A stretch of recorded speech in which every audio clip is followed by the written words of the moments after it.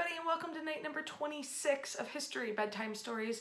In bed, in our pajamas, tonight we're talking about ribbon farms. This uniquely French idea to put everyone on an even playing field when it came to farming in the New World. Now, you'll find ribbon farms uh, all along the Great Lakes, the St. Lawrence Seaway, southern Louisiana, and of course, Detroit anywhere founded by the French for European settlers.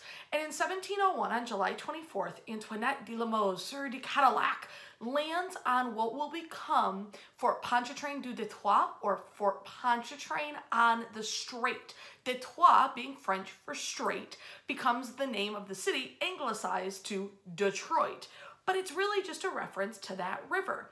And that river has everything to do with Detroit's ribbon farms. As Cadillac is given the authority to offer out land grants to settlers each settler gets a little tiny purchase on the river and then two or three mile strip of land running north.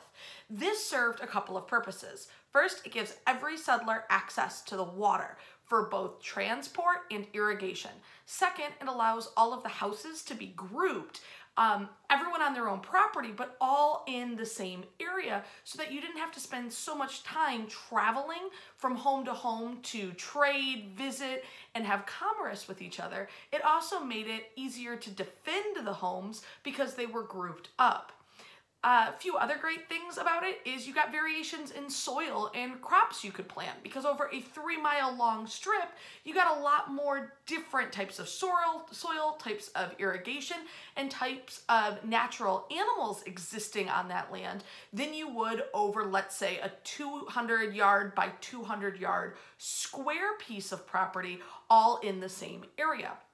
It also made it quicker and easier to till the ground with oxen because you could run long, long strips and only have to turn a couple of times. As this land is given out, it really sets up the earliest maps of Detroit. This map from 1810 is in the collection of the Detroit Historical uh, Society at the Detroit Historical Museum, and it shows the private claims of land in the Michigan Territory along the Detroit River.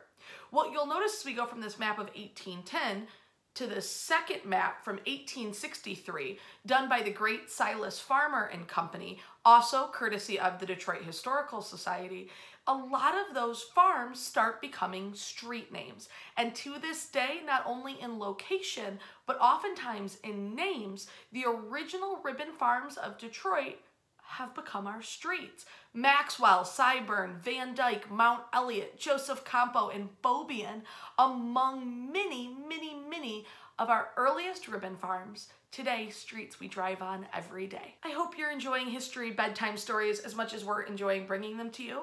If you'll like and share this video as well as tagging a friend down in the comment section below, we'll enter you into a random drawing to win a City of Detroit flag button you can show it off between, you know, the kitchen, the living room, and the couch. All the fabulous places we all get to visit nowadays. Wash your hands, stay safe, and we'll see you tomorrow.